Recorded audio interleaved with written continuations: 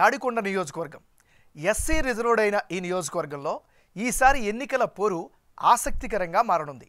అమరావతి ప్రాంతం కోసం ముప్పై శాతం భూములు ఇచ్చారు ఈ ప్రాంత రైతులు. మొదటి నుంచి టీడీపీకి పట్టున్న ఈ సెగ్మెంట్లో ప్రతిసారి నలభై శాతానికి తగ్గకుండా ఓట్లు వేస్తున్నారు అక్కడి ప్రజలు. అయితే గత ఎన్నికల్లో వైసీపీ నుంచి బరిలోకి దిగిన ఉండవెల్లి శ్రీదేవి గెలిచారు. కానీ ప్రస్తుతం పరిస్థితులు మారాయి. మూడు రాజధానుల అంశం తెర మీదకు వచ్చాక అమరావతి రైతుల ఉద్యమాల సెగ శ్రీదేవికి తగులుతూ వచ్చింది.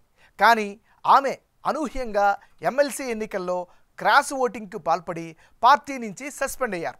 ఆ తర్వాత ఆమె తెలుగుదేశం పార్టీ కండువా కప్పుకున్నారు. దీంతో రాజకీయం మరింత రసవత్తరంగా మారింది.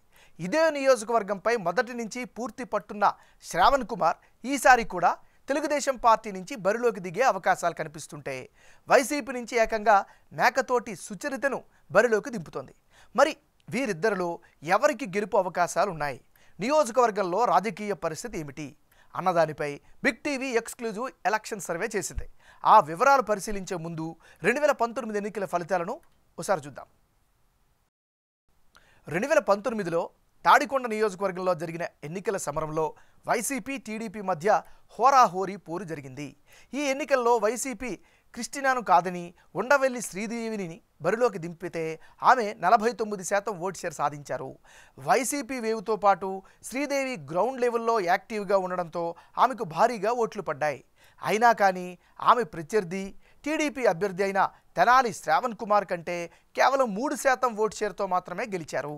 అమరావతి రాజధాని ప్రాంత అభివృద్ధితో పాటు బిల్డింగులు రోడ్ల పునర్నిర్మాణం ఆయనకు బాగానే ఓట్లు వచ్చేలా చేశాయి. ఇక బీఎస్పీ నుంచి బరిలోకి దిగిన నీలం రవికుమార్కు మూడు శాతం ఓట్లు దక్కాయి. ఏది ఏమైనా ఉత్కంఠపోరులో వైసీపీ అభ్యర్థి ఉండవెల్లి శ్రీదేవి రెండు వేల పంతొమ్మిదిలో గెలిచారు. అయితే ఇదంతా రెండు వేల పంతొమ్మిది పరిస్థితి. ఇప్పుడు పరిస్థితులు మారాయి వైసీపీ ప్రభుత్వం అమరావతితో పాటు మరో రెండు ప్రాంతాలను కూడా రాజధానులుగా ప్రకటించాయి. ఈ నిర్ణయం ఇప్పుడు ఈ నియోజకవర్గంపై పెను ప్రభావం చూపే అవకాశాలు కనిపిస్తోంది. ఎందుకంటే అమరావతి భూముల్లో ముప్పై శాతం ఈ నియోజకవర్గం కిందకే వస్తాయి.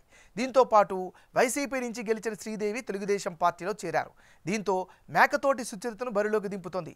మరి ఈ ఎన్నికల్లో ఎలాంటి పరిస్థితులు ఉన్నాయి ఎవరికి గెలుపు అవకాశాలు ఉన్నాయి అనే దానిపై big TV exclusive election survey చేసింది. ఇప్పుడు ఆ వివరాలను చూద్దాం.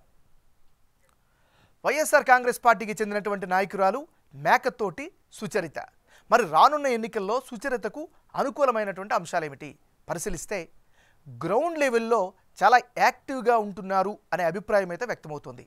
మరోవైపు ఆంధ్రప్రదేశ్ రాష్ట్రానికి హోంమంత్రిగా పనిచేస్తుండడం కూడా ఆమెకు ఉండేటటువంటి అదనపు బలంగా చెప్పుకోవచ్చు. ఇక ప్రజలు కేడర్తో నిత్యం సమావేశమవుతూ ఉన్నారు. రాజకీయ యాక్టివిటీని పెంచారు. మరోవైపు సామాజిక వర్గ ప్రజల సంబంధించినటువంటి మద్దతు కూడా కలిసి వచ్చే అవకాశం కనిపిస్తుంది. ఇవి మేకతోటి సుచరితకు ఉండేటటువంటి ప్లస్ పాయింట్స్. మరి ఇప్పుడు ఆమెకు ఉండేటటువంటి మైనస్ పాయింట్స్ ఏంటో పరిశీలిద్దాం. మేకతోటి సుచరితకు ఉండే మైనస్ పాయింట్స్.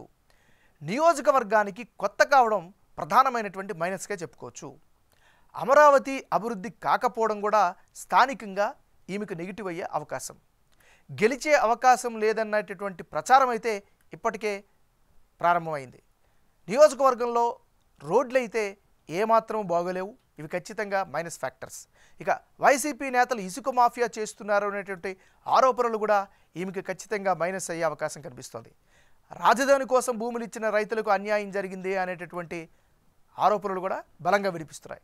ఇవి మేకతోటి సుచరితకు ఉండేటటువంటి ప్లస్లు మైనస్లు ఇప్పుడు తెలుగుదేశం పార్టీ అభ్యర్థి అయినటువంటి శ్రావణ్ కుమార్పై నియోజకవర్గ ప్రజల్లో ఎలాంటి అభిప్రాయం ఉందో చూద్దాం. ముందుగా ఆయనకు ఉండేటటువంటి అనుకూలమైనటువంటి అంశాలేంటో పరిశీలిద్దాం. మొదటి నుంచి నియోజకవర్గాన్ని అంటిపెట్టుకుని ఉన్నారు పార్టీ కార్యక్రమాలు చేస్తూ ఉన్నారు. ఇది ఖచ్చితంగా ఆయనకి బలంగా చెప్పుకోవచ్చు. నిత్యం నియోజకవర్గ ప్రజలతో టచ్లో ఉండడం అదనపు బలం. ఇక ప్రస్తుత ప్రభుత్వం అమరావతిని అభివృద్ధిని చేయకపోవడం మరో ప్రధానమైనటువంటి అస్త్రంగా ఈయనకి కలిసి వచ్చే ఫ్యాక్టర్. వైఎస్ఆర్ కాంగ్రెస్ పార్టీపై రాజధాని ప్రాంత ప్రజల్లో వ్యతిరేకత అయితే బలంగా కనిపిస్తోంది. మరోవైపు తను ఎమ్మెల్యేగా ఉన్నప్పుడు చేసిన అభివృద్ధిని కూడా ఆయన బలంగా చెప్పుకునే అవకాశాలు కనిపిస్తున్నాయి. ప్రజల్లో అయితే పాజిటివ్ ఇమేజ్ అయితే ఈయన పట్ల కనిపిస్తోంది. నియోజకవర్గంలో నిర్వహించినటువంటి జయహో బీసీ కార్యక్రమాన్ని చాలా బలంగా నిర్వహించారు. తద్వారా పార్టీలో మంచి మార్కులు అయితే సంపాదించారు. మరోవైపు తెలుగుదేశం పార్టీకి చెందినటువంటి బలమైనటువంటి క్యాడర్ మద్దతంతా కూడా ఈయన పట్ల కనిపిస్తోంది. రీసెంట్గా చూస్తే జనసేన తెలుగుదేశం పార్టీ పొత్తు కూడా ఈయనకి కలిసి వచ్చే ఫ్యాక్టర్గా ఉంది. ఇది ఈయనకి సంబంధించినటువంటి గ్రౌండ్ డీటెయిల్స్. రానున్న ఎన్నికల్లో తాడికొండ నియోజకవర్గంలో ఎవరెవరు బరిలో ఉంటే ఫలితాలు ఏ విధంగా వచ్చే అవకాశం ఉందో పరిశీలిద్దాం. ముందుగా మేకతోటి సుచరిత వర్సెస్ తెనాలి శ్రావణ్ కుమార్. అంటే ఇప్పటికిప్పుడు తాడికొండ నియోజకవర్గంలో ఎన్నికలు జరిగి మేకతోటి సుచరిత తెనాలి శ్రావణ్ కుమార్ బరిలోకి దిగితే తెలుగుదేశం పార్టీ గెలిచే అవకాశాలు ఉన్నాయని బిగ్ టీవీ ఎలక్షన్ సర్వేలో తేలింది. టీడీపీ అభ్యర్థి తెనాలి శ్రావణ్ కుమార్కు యాభై ఒక్క శాతం ఓట్లు పోలయ్యే అవకాశాలు కనిపిస్తున్నాయి. ఇక వైసీపీ అభ్యర్థికి నలభై నాలుగు శాతం ఓట్లు ఇతరులకు ఐదు శాతం ఓట్లు పోలవుతాయని సర్వే రిపోర్ట్ చెబుతోంది. అమరావతి అభివృద్ధి ఈ ఎన్నికల్లో కీ రోల్ ప్లే చేయనున్నట్లు ఈ నియోజకవర్గంలో తెలుస్తోంది. అమరావతిని అభివృద్ధి చేయకుండా కర్నూలు విశాఖను రాజధానిగా ప్రకటించడంపై ఈ ప్రాంత ప్రజలు అసంతృప్తితో కనిపిస్తున్నారు. దీనికి తోడు ప్రస్తుత ఎమ్మెల్యే ఉండవల్లి శ్రీదేవి ఇప్పటికే వైసీపీని వీడి తెలుగుదేశం పార్టీలో జాయిన్ అవ్వడం కూడా ఆ పార్టీకి కలిసిరానుంది